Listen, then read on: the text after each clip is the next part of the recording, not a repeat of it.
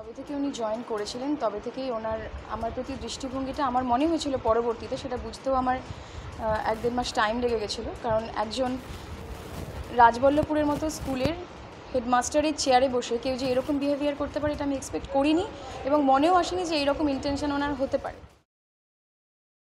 স্কুলের প্রধান শিক্ষকের বিরুদ্ধে কুপ্রস্তাব দেওয়ার অভিযোগ তুললেন স্কুলেরই এক শিক্ষিকা। ঘটনা জানাজানি হতেই নিন্দার ঝড় উঠেছে এলাকায়।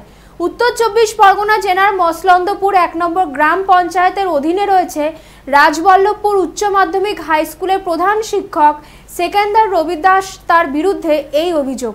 শুধুমাত্র স্কুলের শিক্ষিকাকে কুপ্রস্তাব দেওয়ার অভিযোগ বলা ভুল হবে।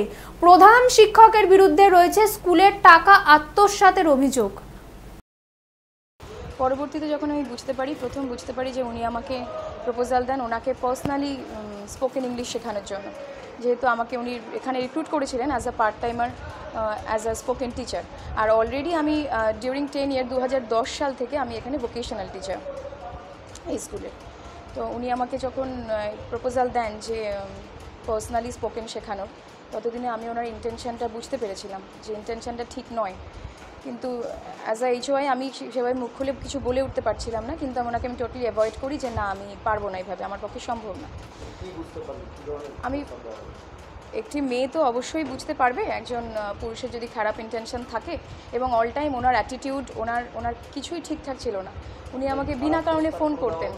হ্যাঁ প্রথমে বিনা কারণেই ফোন করতেন। ফোনের কোনো মানে উইদাউট এনি কজ আর কজ থাকবে কেন? আমি তো এই স্কুলের ভোকেশনাল টিচার ওনার আমার সাথে এমন কিছু ইন্টারাকশন হতে পারে না যেটা বাই ফোন ওনাকে আমাকে বলতে হবে কিছু। আর বিনা কারণে আমাকে ওনার চেম্বারে ডাক, ডাকতেন। ওখানে বিনা কারণে আননেসেসারি কথাবার্তা, কিছু আননেসেসারি কাগজপত্র পড়তে বলতেন।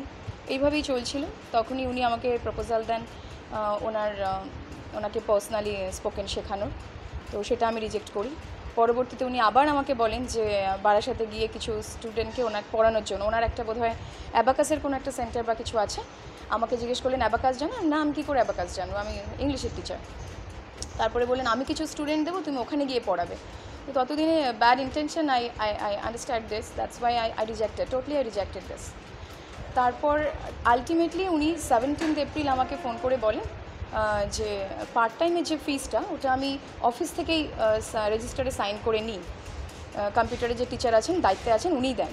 পার্ট টাইমের অনলি ফিসটা আর ভোকেশনাল ফিস আমার যেভাবে আসা, যেভাবে আসে, সেভাবেই আসে। বিশাল অঙ্কের আর্থিক নয় ছয় দু নম্বর অভিযোগ, আমাদের এক সহকারী, আমাদের সহ- সহকর্মী, এক দিদিমণিকে কুপ্রস্তাব দেওয়া। আর আমি নিজের চোখে যেগুলো দেখেছি কুপ্রস্তাব দেওয়াটার বাদেও আমি নিজের চোখে যেটা দেখেছি যে, আমার স্কুলের দিদিমণিদের ঘরে ডেকে, ওনার ঘরে ডেকে ঘণ্টার পর ঘণ্টা উনি দরজা বন্ধ করে মিটিং করতেন। কী বলতেন, কী হতো, সেই সময় কারোর ঘরে প্রবেশ নিষেধ ছিল। এমনকি সেই দিদিমণিদের ক্লাস থাকলেও তাদেরকে আমায় বলতেন যে এদের ক্লাসটা ম্যানেজ করে দিন। এরকম একটা ব্যবস্থা উনি চালিয়ে চালিয়ে এবং এই রকম ঘটনা থেকে ফেসে গিয়ে উনি নিরপরাধ কিছু লোক যেমন আমাকেও এবং মিলন ঘোষ মঞ্জিত গাইন অপূর্বরতন মিত্র, এদেরকে একদম মিথ্যে অভিযোগে ফাঁসাতে চাইছে।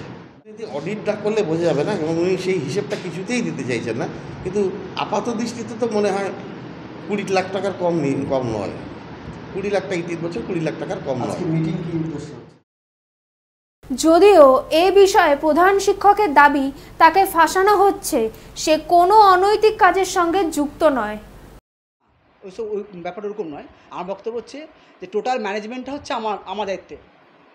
টোটাল ম্যানেজমেন্টটা কথা বলেছি আমি। আমার ব্যক্তিগত ত্রুটি কথা বলিনি।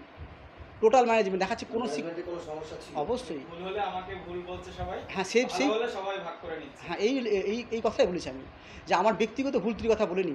আজকে কোনো শিক্ষক যদি ক্লাসে না যান গার্জেন হিসাবে আমাকে প্রশ্ন করছে কোন শিক্ষককে জিজ্ঞেস করছে না সেই ব্যাপারে বলেছি আমি।